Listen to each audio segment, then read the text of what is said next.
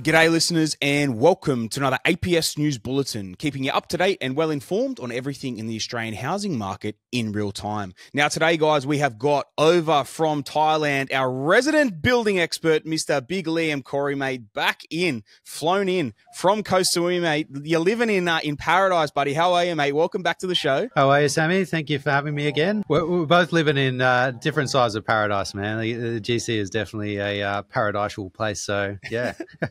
Mate, we were having a laugh because uh, you had the nice temps over there. I was out in the in the Ferrari on the way here this morning, roof down. It was about 10 a.m. with uh, with uh, 23, 24 degrees in the middle of winter. Mate, we're recording this in the middle of July, so uh, mate, you can't get much better than that in Australia. I've got to I've got to take it. It 100 percent is, is our little piece of paradise, mate. So, but man, in a, in a quick funny little little quip, you've got a you got a fella out the back on his motorbike or his chainsaw or something. That's going to be funny, but hopefully the uh, hopefully the audience can still hear what you've got to bring some value, man. I know you keep your finger on the pulse of the building industry. And man, it's it's an interesting time. Uh, we have a lot of people still writing in, going, "Yep, look, we love the we love the updates. Please keep the updates coming on the building and construction sector because obviously it does have such a key impact on the housing market, especially where we're at right now in shortages. So, mate, what I want to do is I want to run through, have a bit of a discussion with you about this, and uh, and then yeah, man, let, let's do uh, you know the new the news bulletin around the construction sector. Now, if you guys out there are loving this, if you love this uh, this uh, weekly news bulletin, make sure you let us know, and we'll keep this a little bit more regular with the big bearded beast from Koh Samui himself. All right, jumping straight in, guys. Story number one: construction of nearly forty thousand homes across Australia in limbo. Article by Nine News guys reads the construction work on nearly 40,000 homes across Australia has yet to start despite them being given building approvals, new research shows. An analysis from KPMG Australia reveals Sydney and Melbourne account for almost half of approved but not yet commenced apartments, townhouses, and houses. Brisbane recorded an 8% increase in installed housing over the five year trend, according to KPMG figures. The ACT set a record for dwellings approved but not begun, nearly doubling from this time last year from 864 non started to 1772. Adelaide and Perth remain stable, interestingly, and high costs in building materials over recent years, and the interest rate spikes have been blamed for the construction lag. Now, mate, Big Liam, what are your thoughts on that, mate? Construction nearly 40,000 homes across Australia in limbo. So they've got approvals, they've been ready to start, and they haven't begun construction. They haven't started. Mate, what are your thoughts on that? Like, give us give us the weighted opinion, my friend. Yeah, Sammy. Look, it's um, it's not surprising given what we've seen in uh, in the construction industry, particularly over the last couple of years. We've seen a lot of those areas. You know, we can see that Sydney and Melbourne have been affected the hardest, or even ACT. But as you know, like look at the the price spikes that those areas had. Builders just have had a hard time keeping up with the rising cost of good, inflation, actually turning over a profit. Um, one thing that's interesting with a lot of that housing is it's actually larger projects like your townhouses and, and or medium and high density uh, stuff that's been delayed. The, yeah. yeah. And um, and that's the hardest thing to make a profit on. I mean, when labor's short, um, you, have got high interest and inflation uh, tapering Rising on. You've got contracts. Costs contracts that were probably fixed two, maybe even three years ago, um, just because of all the red tape it takes to, to get it through to construction. Uh, not surprisingly, people are probably at a point where, yeah, the project's approved, but maybe they've got that hard time uh, turning over a profit. One thing I saw in my time in the industry, this was something that we we saw coming up, was um, just a simple fact that um, you know, when new stock coming on, obviously people and builders are able to regain uh, certain margins that they'd have. And obviously, if they're faced with new stock versus old stock, the uh, I guess the priority would be for them to bring the new stock in first. And we see this. I, I hear it from boots on the ground from people that uh, you know I still have in the industry that a lot of builders are still favouring the new stock, even though they've got a lot of people and a lot of houses and stuff that's been sitting there for a while a lot of the contractors and people taking the projects, they're quick to take the new stuff because that's what's turning over a profit, whereas the old stuff's sitting there a little bit because no one wants to touch it. So just to just to recap on that, so what you're saying is there's there's older contracts that are maybe like one two years old, but because they're older and they're older pricing, and they're actually probably going to lose money or break even at best on those projects because of how old they are or on those contracts, they're actually opting to go for the newer builds and the newer contracts that have been signed, and they can kind of start almost immediately, and that they know they're going to turn a profit on, rather than than actually go back and start on these deals further down the line. from previous previous times. Hundred percent. I've I've heard it. Um, I've seen it. Like having boots on the ground. Man, I, I was even. I mean, one of my granny flats was being built uh, last year, and I was talking to the supervisor, and he was telling me the same thing. He's like, "Oh, you know, new houses we're we're flying through at the moment. Like the new stuff's getting in, and and I'm sitting there thinking, geez, this has taken 12 months to get my granny flat built. Mm. And they're getting them done quicker now for the newer stuff. But that's because they're more incentived. Uh, that the contractors are actually like turning over a profit. Whereas the old stock, it's hard getting the contractors over to actually do it. Um, and that's kind of an issue with labor shortage as well, because there's not a lot of labor the people that are there, um, the guys in high demand, they want to take the ones that offering bigger money, whereas they're trying to get other people to fill in the other spots. So yeah. Of course, man. We actually we actually witnessed this a lot, both in um, Brisbane. like this is quite this is a few years ago now with a different builder we were originally working with in Brizzy for grannies, and in Perth as well for a different for a decent like it was a different period there where the builders tried to look after us of giving us a heads up when a price a building price increase had come through, and sometimes it was like ten to fifteen thousand dollars. So we'd get all these guys that were like umming and ahhing about doing a contract and going, guys, there's a price increase is about to come. You want to jump in and do it now? But then they'd sign them at that money, and then they wouldn't start for like four to six months, and then it was such a slow. slow slog to actually get those builds through and completed. And the biggest reason that I that I, I honestly believe it was was because they signed those contracts so cheap. They almost shouldn't have given us the heads up because it was so hard for them to complete them at a profit if they even complete them at a profit at all. Um, you know, or um, or, or even at a break even. So they kind of had to like filter them through with new jobs coming through that they actually were making money on. So they weren't you know bleeding too much doing these jobs further in. So it was that was kind of my first real um uh, you know, sight into into the way that that works from that perspective. And a lot of the time, and, and people think builders are being dogs for doing it, but they're actually keeping themselves afloat. Because if they just went out and smashed out all these super low contracts and they kept trying to catch up and chase and just constantly be trying to catch themselves on that front, they're they're, they're going to go under because they can't they can't. There's not enough profit in it, right, to do it like that. Whereas when they're kind of mixing and filtering it through with the newer stuff that's signed, that they've got that margin built in and they've got that healthy profit built in from that side, it kind of allows them to filter those other builds through and yeah, we've seen it unfortunately with a few builds, and even a few builds have dragged out beyond the 12 months, unfortunately. But it's like they signed, they took ages to sign, and then they finally got it signed, and then took ages to get the, you know, it was old pricing, and then took ages to get the funding, and just as the slower it gets, the slower and slower it literally drags out. So, uh, man, it's an interesting way of looking at it. So, so obviously one of the biggest things there is is is projects not really working and then not starting, and then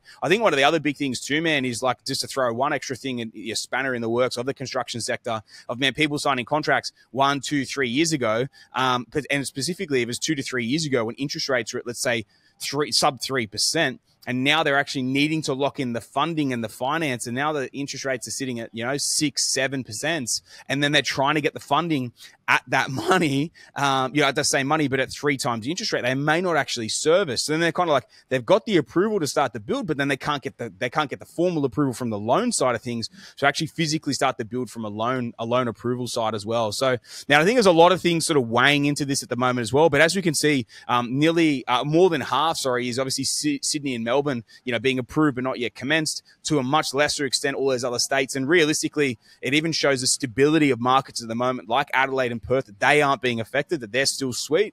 Brisbane's numbers quite low as well. Um, but maybe a little bit of shakiness in those other states. But mate, let's move on from that, man. Appreciate the insights from that side, man. The next story I've got to dive into here with you, and I really want to know your opinion on this. Uh, it's a pretty, pretty, uh, pretty grim uh, headline. We'll put it that way. Um, but big Leith Van Onselen, who always likes to weigh in on our on our weekly news bulletins, his headline is the Aussie housing construction collapses into the black hole, mate you've got a black abyss. It's of a different kind, but mate, we're talking about the construction sector collapsing. I'm going to dive into his article, mate, and I want to know your thoughts on this. The data surrounding this is this is what Big Leith has written here. The data surrounding the Australian housing construction continues to deteriorate, making a mockery of the Albanese's government's target to build 1.2 million homes over the next five years, which we're already a year into. The latest data from the ABS, uh, Australian Bureau of Statistics, revealed that only 12,400 homes were approved for construction in March, which was the lowest uh, monthly number since April 2012. So, uh, guys, gone back 12 years here, um, the lowest month of approvals in construction for that over that time period. On an annualized basis, only a, uh, sorry 150,000 homes were approved for construction in March. In trend terms, that is roughly 90,000 homes below the Albanese uh, government's annual housing target of 240,000 homes a year. This article goes on to say that the only realistic solution to Australia's housing shortage is to reduce demand by cutting overseas net migration and cutting it hard. Now, Liam, cutting the overseas net, net migration is not going to add to the to the to the build numbers. It's not going to turn that 150,000 homes into 240,000 homes. Um, but what are your thoughts on that? Cutting cutting the net overseas migration in the first year of this of the Albanese's government's you know 240,000 uh, target uh, of homes per year being built. We're already 90,000 short in the first year. Man, what are your what are your thoughts around this? What's your opinion? Firstly, um, my opinion is that you have the larger black abyss of the two of us. But uh, uh, no, talking about hair on the head I, for all of us that are unsure. It's a, yes, it's the it's the hair on the head. Yes, moving yes. on, mate. Moving um, on. um, no, but I, I think um, I, would actually disagree with Leith on this one. Um, I, I think what we saw is a massive downturn of migration during COVID. Obviously, we weren't bringing anyone in, and um, we, we've always, we've been low on labor shortage for a long time, right? Uh, uh, one of the biggest faults, I guess, in the migration policy that they have, which certain states are trying to correct right now. Uh, you look at WA, very much uh, skillfully targeting the right type of migrants to bring in uh, much needed labor in the construction industry, which is very forward thinking most other states haven't really done that. And the migration policy has just been bringing in a lot of people that aren't necessarily contributing to our issue. I think that's the biggest problem. I think one of the solutions is in migration. And we've covered this before, we've, we've sort of mentioned it previous times, but I don't think it's the issue. I think it is the solution. However, it needs to be targeted because there are a lot of overseas skilled migrants we make it very hard for them to actually come over and utilize their skills. I yes. think states need to work a little bit harder in terms of recognizing skill sets so that we can plug some of the holes. I mean, the issue isn't just in construction, it's like so many industries are affected by the lack of targeted migration for skill sets that we desperately need in the country. Fortunately, construction is one of the big ones that's really struggling.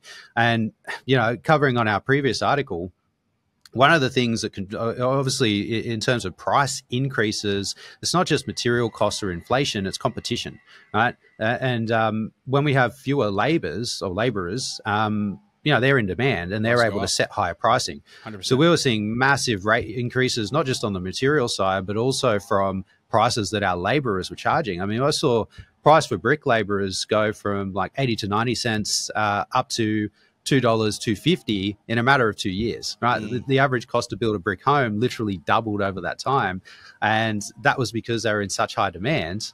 We couldn't get enough of them, so they were just able to set their price.